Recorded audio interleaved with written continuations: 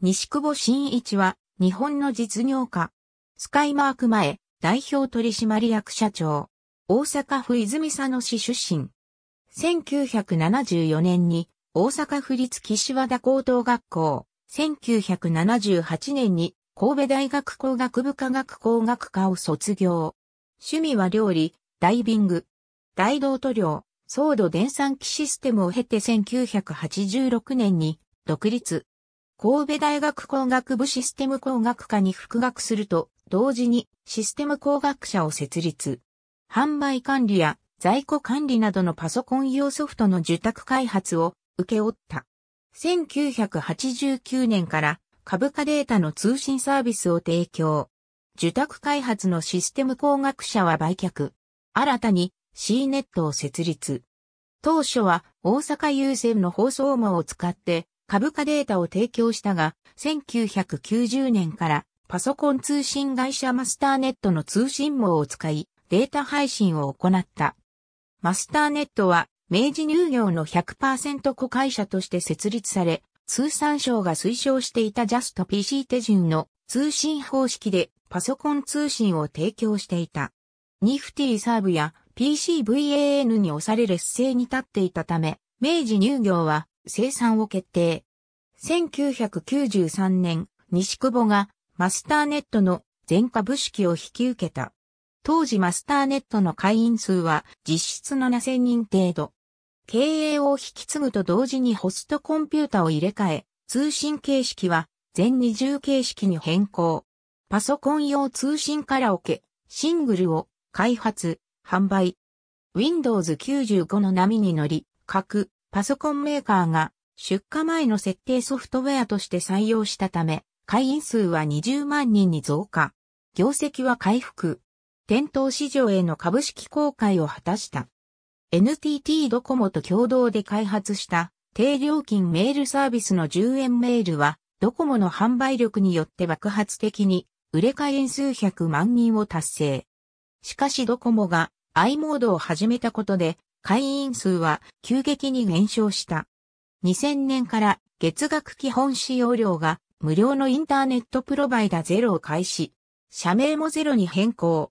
約30億円の広告費をかけ、販売を展開するが不調に終わり、1年後に有料化した。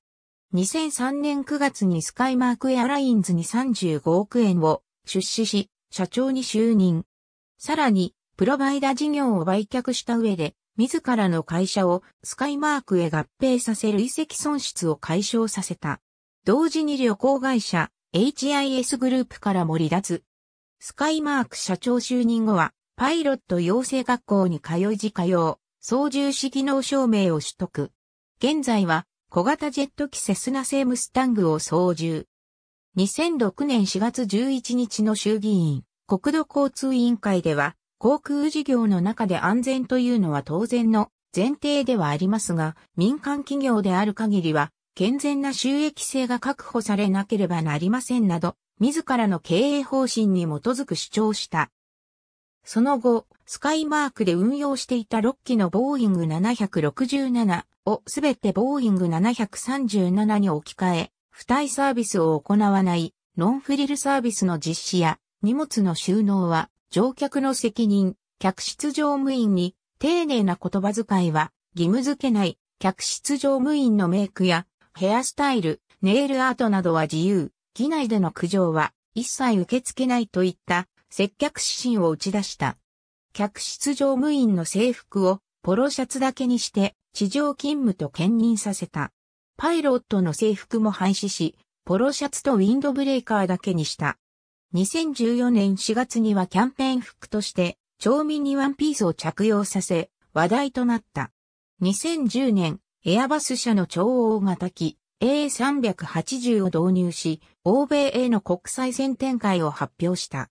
国内線では再び中型機 A330 を導入し羽田発着路線の提供席数を増やす。A330 では全席を JAL のクラス J に相当するグリーンシートを導入。単なる価格競争から座席品質に競争の軸足を移し、LC シートの消耗戦からの脱却を図った。また石垣島や宮古島では片道5000円という破格の運賃を提供し、割高であった離島リゾート路線に価格破壊を持ち込んだ。他社競合のない茨城路線においても一貫して低価格運賃を提供した。非効率さを理由に子会社を作らないことを経営方針としていた。また、契約社員は社内試験によって正社員化し長期雇用を基本としている。国土交通省からの天下りは一切受け入れていない。排他的組織だとして記者クラブでの会見はしないためマスコミの評判は良くなかった。一度退職した社員を再雇用するブーメラン制度や自社機を使って社員旅行を行うなど独自の経営スタイルを持っていた。2014年、上述の A380 導入をめぐってエアバス社との購入交渉が暗礁に乗り上げ、700億円とされる違約金の支払いを求められる可能性が高まった。